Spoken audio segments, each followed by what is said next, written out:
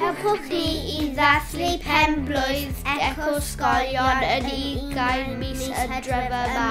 Gwerewch eich rhan mewn ei cefnog i ni. Plan Cymru i edrych ar ôl ein hamgylchedd am blynyddoedd i ddod.